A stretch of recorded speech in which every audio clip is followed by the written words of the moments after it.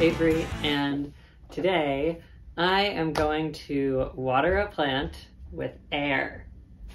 How am I going to do that? Well, with this wind turbine contraption that I have made out of household materials. So this wind turbine starts with a pinwheel that I made from some heavy paper and I glued it uh, onto a thin paintbrush. I got some pom-poms for decoration. And this pinwheel is attached to a paper towel roll through a straw here. And the reason why I've got this straw is so that the pinwheel can freely move inside this paper towel roll. And this rubber band is just a stopper to make sure it stays in the right place. So this is all nestled in this wonderful Captain Planet cup because Captain Planet is awesome and he approves of watering plants. And this is weighted in the base with some rocks because when the movement starts going, we wanna make sure this stays upright. So at the end of the paintbrush, I've got some twine here that's glued and wrapped around and the other end of the twine is connected to the end of a test tube. And there's a rubber band here as well so that the twine doesn't slip off the end once everything is in motion. Then this test tube is connected to this whole cardboard lever system, um, whatever you want to call this. I've got some wire here to keep it in place. And then this cardboard piece here is connected to this toilet paper roll with another straw, uh, piece of a straw. So it's the similar concept that I had here, except it's just a variation on it where this can now move like this. And we've got two rubber bands, one on either side, to keep this whole thing in place, but to give it enough room so that it can move freely. And here we have our beautiful chocolate chip dendrobium orchid.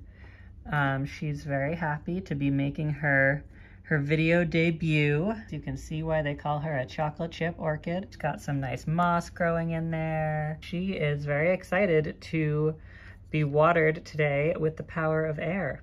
Now, before I turn the fan on, I just want to mention that this test tube is full of water. Um, so do we think that this pinwheel can lift this whole test tube?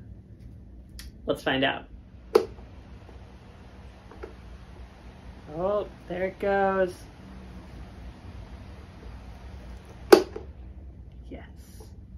And we have watered the plant with the power of air.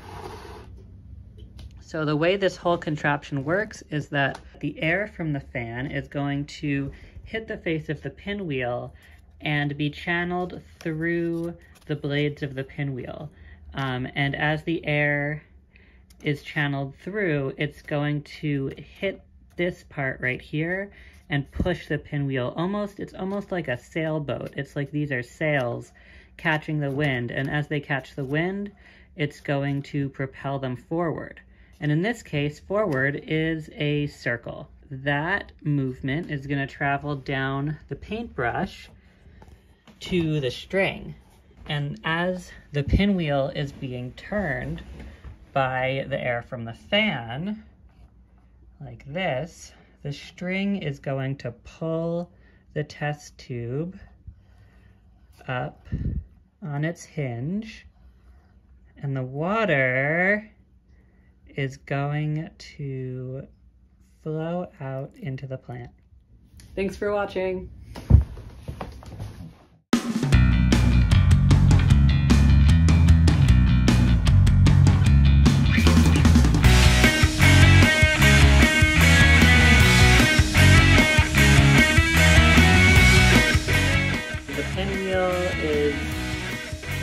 Thinking about moving. All right, let's give it some more power.